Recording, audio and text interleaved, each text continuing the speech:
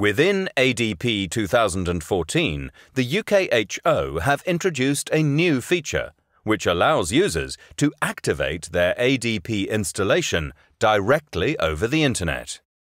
To do this, first open the ADP License Key Wizard through the Start menu or desktop of your computer.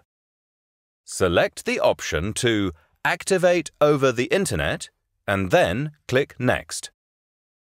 The License Key Wizard main or backup computer screen is displayed showing your computer name. Choose whether you would like to make your computer the main or backup system on the license and then click Next.